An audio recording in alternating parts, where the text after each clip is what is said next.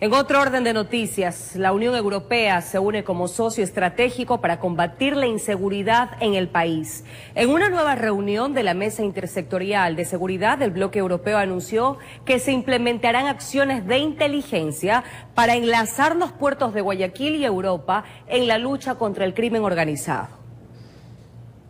Tomando en cuenta que el crimen organizado es transnacional y que el mensaje del gobierno ecuatoriano ha sido de unidad para combatir el mal común, la Unión Europea se une al trabajo que desde hace dos meses la Mesa Intersectorial de Seguridad viene realizando para implementar políticas para combatir la inseguridad. La seguridad no es ni de izquierdas ni de derechas.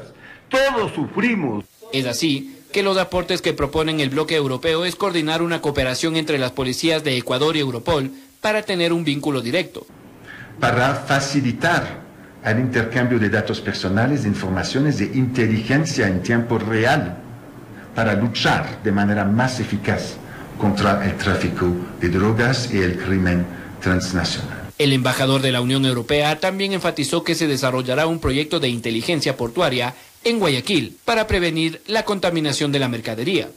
Apoyar la vigilancia digital del canal de Guayaquil, pero también ver cómo podemos apoyar a través de un gran programa digital que va a enfocarse sobre las instituciones de la justicia o a partir de julio, una fase con 58 millones de euros para la región, para seguir y desarrollar aún más esta oferta de asistencia técnica la mesa también trabaja en fortalecer el sistema penitenciario nacional con la construcción de nuevos centros carcelarios, la compra de equipamiento e incorporación de nuevos guías.